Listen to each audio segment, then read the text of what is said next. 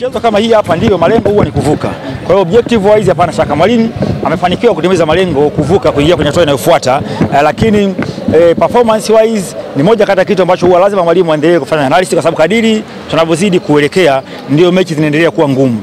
Kama mechi inayofuata kwa mfano ni mechi dhidi ya Uganda the Cranes, ni mechi ambayo tunatarajia itakuwa ngumu, tofauti na mechi ambazo tumecheza na Somalia, zote mechi mbili, kwa sababu mechi ya kwanza na mechi ya pili. Unaona kabisa Somalia walikuwa wameingia, wanaingia kwa ajili ya kwenda kudefend, na hata leo naona kwa mfano kipindi cha kwanza, naona muda mwingi wao wako chini, wanaacha striker mmoja tu. Hiyo yenyewe ni moja kati ya kitu ambacho kinaonyesha yani wameingia kwenda kudefend, na mwalimu kikubwa ambacho amefanikiwa leo ni approach ya safu ya kiungo. Tumezoea kuona kwenye viungo huwa lazima kuna majukumu mengine unawagawanya viungo kuna kunakuwa na defensive midfielder au holding midfielder, lakini pia kunakuwa na attacking midfielder. Lakini katika mechi ya leo e, nimeona kuanzia kipindi cha kwanza wa viungo wote watatu kwa maana ya Mzamiru, Shuaboy pamoja na Faisal wote walikuwa wanacheza flat, yani kwenye kuattack wanakwenda wote, kwenye kudefend wanarudi wote, kitu ambacho ikawa kina mchango mkubwa sana kwenye kushambulia, lakini pia hata kwenye kublock yale mashambulizi ya Somalia. Ndio sababu kipindi cha kwanza, kwa mfano, mashambulizi mengi ya Somalia yalikuwa hayafiki, ukiachilia mbali zile counter counter attack ndio kidogo zilifika kwa msheri goal, goalkeeper, lakini nyingine zile za passing zote walikuwa wanaziblock katikati na kuweza kurekebisha, nami kuwafanya kina Bakari ndo mamia na Lisson Jobu muda mwingi kuwa wamepumzika. Kwa ni moja kati ya approach ambayo mwalimu alifanikiwa kwenye safu ya kiungo, lakini kwenye final third, eneo la mwisho bado ni changamoto kwa maana ya uwezo wa kutengeneza nafasi, na ndio sababu hata alizungumza, lakini pia kwenye interview kipindi cha kwanza kabla ya mechi kuanza kwamba ataendelea kutegemea uwezo wa mchezaji mmoja mmoja, na ndio sababu unaona hata goli aliofunga Sopu sio teamwork, kwa maana ya combination, kwa maana ya labda zilipigwa pasi akakia chance akaenda kumalizia, ni determination za kwake binafsi, ndio amedribble ile pembeni, ameingia, amekwenda kushoot from distance, anapata goli. Kwa hiyo ni moja kati ya vitu ambavyo vinaendelea kuthibitisha kwamba ndio katika mechi kama hizi ndio unategemea uwezo wa mchezaji mmoja mmoja, lakini katika mechi ngumu, kadri unazidi kuelekea mbele, muunganiko ni kitu cha msingi sana ambacho kinatakiwa kuendelea kufanyiwa kazi hasa kwenye safu ya ushambuliaji. Michuano hii ya uh, CAF ambayo inashirikisha wachezaji wa ndani ina faida gani hasa kuzingatia kipindi hiki ni cha maandalizi kwa ajili ya msimu wa ligi kuu Ina thamani kubwa sana. Hii michuano ilianza, nakumbuka of course, huu ni mwaka wa 13 2000 na huu ni tangia imeanza ni mwaka wa 13 kwa sababu ile michuano ya AFCON ilishaonekana kwamba ni wachezaji wengi ndio wa Afrika wanacheza katika mabara ya Ulaya, wengine kutoka Asia, lakini hawa wa ndani bado wanakosa nafasi, na wao pia wanatumia hii platform kwa ajili ya na wao pia kupata nafasi ya kujiuza kimataifa, na ndio sababu e, huwa inatumika hii michuano kupima thamani ya ligi husika, na ndio sababu unavyozungumza leo hii hapa mabingwa wa rekodi ya CHAN tangia michuano hii imeanza ni, ni, ni, of course ni Morocco. Ndio wamechukua mara mbili pamoja na DRC Congo wamechukua mara mbili, na sababu ni kwamba wachezaji wao wa ndani wamethibitika kuwa na uwezo mkubwa, ndio sababu wametoa taji hili mara mbili. Kwa hiyo hata sisi hapa michuano ya CHAN ni moja kati ya michuano ambayo inatumika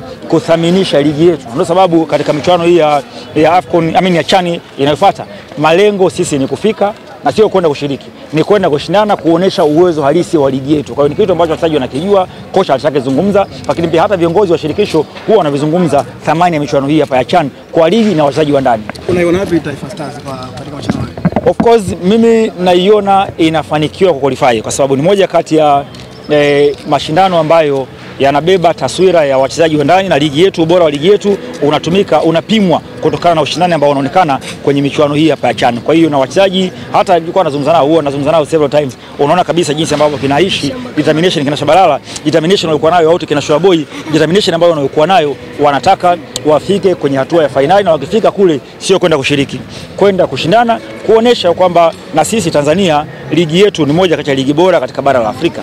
Ina michezo uh, minne na Uganda kwa maana Mm. kwenye CHAN tuna michezo miwili Uganda na mm, kwenye yeah, na kwenye AFCON. Inaongeza nguvu kiasi gani kupambana nao ama ina changamoto gani kupambana Ina changamoto kwa sababu katika ukanda wa Sekafa Uganda ndio taifa ambalo kwenye FIFA ranking inaongoza kwa nafasi nzuri, wako kwenye double digit e, nafasi ya 90 na 80 nafikiri e. Wakati sisi kwenye FIFA ranking tuko nafasi ya 100 eh, kama 23 au 32, wakati Somalia wako nafasi ya 190 na kwa hiyo unaweza kaona gap kati ya sisi na Somalia, lakini pia Uganda ambao wao kwenye michuano ya kimataifa wameonekana kuweza kuperform vizuri, na ndio sababu kwenye FIFA ranking wapo eh, kwa hiyo unapocheza na mtu ambaye yupo juu kwenye FIFA ranking, mara nyingi ukipata matokeo chanya, ukimfunga mara nyingi huwa na wewe una shoot, unaweza ukatoka kutoka kwenye nafasi ya 130 na mpaka kwenye nafasi labda ya 103, au hata nafasi ya 90 na kitu ambacho kinakuwa na thamani kubwa sana, tofauti na ukifunga labda Djibouti, ukifunga Eritrea, ukifunga timu nyingine ambayo ipo kwenye nafasi ya 100 na mara nyingi huwa inakuwa haina thamani kubwa sana. Kwa hiyo thamani kwanza ni hiyo, lakini pia kiwango cha ushindani, kwa sababu Uganda tumeshatoa nao mara nyingi na wachezaji wanafahamiana, tunafahamiana, aina ya mpira ambao Uganda huwa wanacheza inajulikana, physical battle, migongano huwa inakuwa ni mingi. Kwa hiyo naamini mpaka sasa hivi mwalimu Kim Paulsen atakuwa ameshajua ni style gani of play au ni aina gani ya wachezaji ambao atakaowatumia kwenye mechi dhidi ya Uganda ambayo wanajua itakuwa ni mechi ya kwenda kuchinjana, kwa maana ya mapambano yatakuwa ni makubwa sana.